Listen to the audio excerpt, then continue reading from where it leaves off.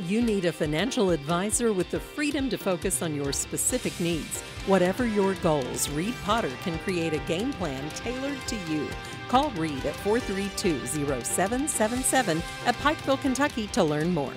Following the catastrophic flooding that left countless eastern Kentuckians without their homes and belongings, the Pikeville Rotary Club called to action Rotarian clubs across the country to assist in disaster relief we had such a positive response from Rotary all over uh, our country.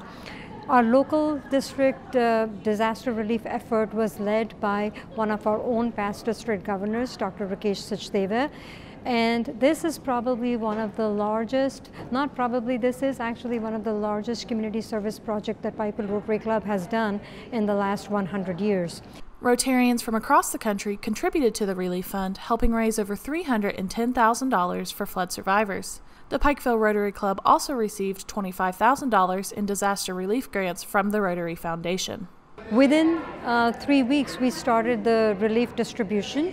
We, in the first phase, gave $115,000 in gift cards to families that have been affected. The second phase involves helping the school children that were affected by the relief, uh, by the floods and we helped 900 children and this was all through like Pike County, Letcher County, Perry County, Floyd County, Knott County and Breathitt County. So the disaster relief went into the hands of all the people across different counties in eastern Kentucky.